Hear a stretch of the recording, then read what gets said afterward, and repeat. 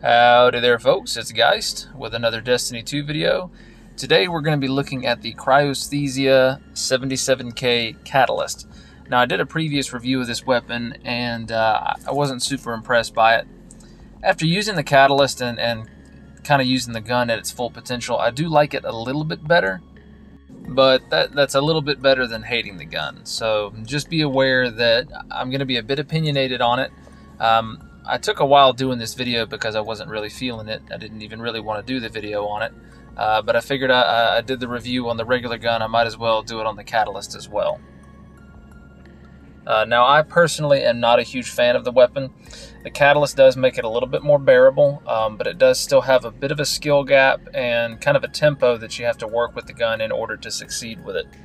Uh, this is not going to be like, say, Dead Man's when it launched, where you could just pick it up and it just immediately felt great or any other similar exotics. Um, basically, the, the method that you use this weapon, you need to get a kill with it.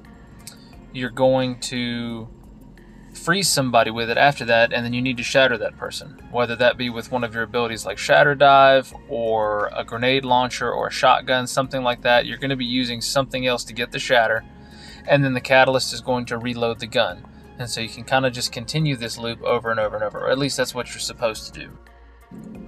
The combo that I see most people utilizing is the grenade launcher with it, just because you can get that freeze, quickly swap to the grenade launcher, and fire it at them to finish them off. Um, the other thing that you can do, like I just spoke about a second ago, is something like Shatter Dive. And that's going to be a little bit quicker, and the weapon doesn't actually have to leave your hands. If you're kind of kind of quick on the draw with it. You could freeze somebody, jump, shatter dive them, or, or slide if you're a Titan, um, and immediately get the reload on the weapon and just kind of keep going with it. Beyond that, that's really all there is to it. This gun, very similar to Ticuu's, is kind of a novelty. Um, I think it is a novelty that is still better suited to PvE because that freeze lasts a lot longer and there's a lot more that you can do with that. Uh, kind of like how T- Ticuu's has really good boss damage and just ad clear in general in PvE. Both of them, I think, are better suited to PvE than PvP. Uh, Ticuu's especially. I don't know if you use that in Crucible, but that one is hot garbage in Crucible. It's okay, but there are so many more better options. And you know, part of it's not Ticuu's fault. Uh, if bows ever get a, a, buff, which they need to, then perhaps we'll see a rise in Ticuu's. I don't know. But as, as far as Cryosthesia is concerned, other sidearms are better and they don't take up your exotic slot. You can more consistently get the kills with them. Uh, the only bonus that Cryosthesia has is the fact that you can get a little freeze and do a little wombo combo with a grenade launcher or a shatter. I do not actually have Shatter Dive on my Hunter because I haven't taken the time to unlock any of the stasis stuff because I'm not a fan of stasis. Uh, but that, that is going to be the probably the most effective method. Uh, I know it's certainly happened to me plenty of times. I've gotten frozen and then a Titan immediately slides right through me. Haven't seen too many hunters using the Shatter Dive. It's, it's going to take a little more skill to pull that off, but um, if you don't have either of those, just use a grenade launcher. That's going to be your next best bet to actually get the detonation on the ice. For me personally, inside of Crucible, this is just not worth your exotic slot. Um, now, that's my opinion. Some of you guys may love the gun, it, it may jive with you, but to me, it just requires too much setup when I compare it to other exotic options and even restricting it to just other exotic primary options.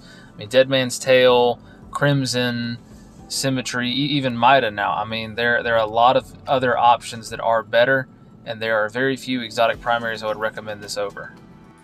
Now, I'm always an advocate of exotic primaries. You guys know this. I, I, like using my exotic slot on something that I can always have with me, something that I can get a lot of use out of just due to the nature of the primary ammo economy. Uh, but there are just far more better options than this. And even if you want to run an exotic sidearm, if you love sidearms like I do and you want to main an exotic sidearm, you can use just about any other exotic sidearm in place of this and you're going to have better success. Rat King, Devil's Ruin, Travelers, they're all better than this when it comes to maining them in Crucible. Uh, they've got a little bit more utility to them and they just feel better. Cryo isn't necessarily bad, but it's not in the strongest archetype when you compare it to some of the archetypes of the others. So that about wraps up my thoughts on the Cryosthesia. I didn't personally enjoy it. I didn't have too much fun with it. It was kind of meh to me, but I mean, hey, if, if you guys like it, feel free to keep playing with it. This is just my personal opinion. Uh, it's it's not for me. Uh, but other than that, uh, if you guys have stuck with me this far, thanks for watching, and I hope you have a wonderful evening. Look forward to seeing you in the next one.